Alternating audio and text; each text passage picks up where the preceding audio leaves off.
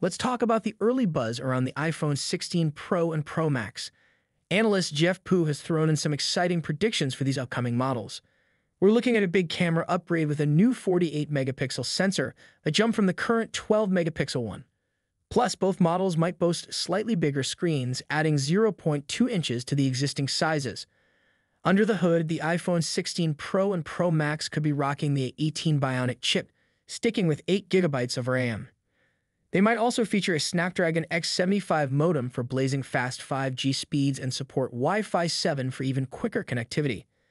Camera-wise, the iPhone 16 Pro might inherit the 5x optical zoom from the 15 Pro Max, thanks to its larger size. However, the 16 Pro Max might not see any zoom upgrades, keeping the 12 megapixel camera with 5x zoom. For the standard iPhone 16 and 16 Plus, expect a dual lens rear camera setup and possibly the same 12 megapixel resolution.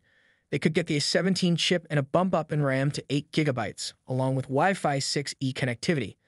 While some of these details are still up in the air, it's always good to take early rumors with a grain of salt. The iPhone 15 lineup has just dropped, offering lots of new features for iPhone lovers. What do you think the iPhone 16 lineup will bring to the table? Share your thoughts in the comments.